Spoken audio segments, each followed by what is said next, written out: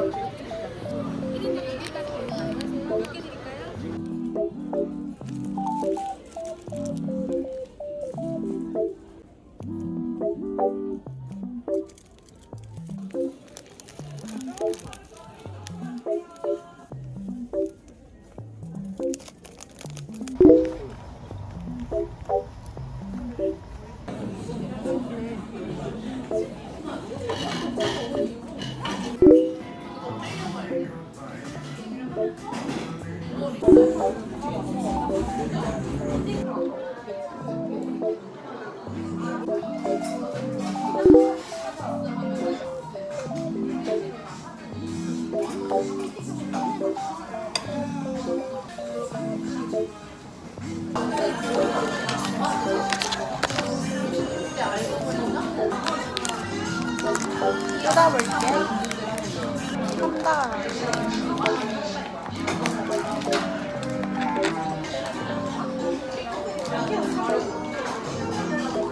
그래도 새로운 애야.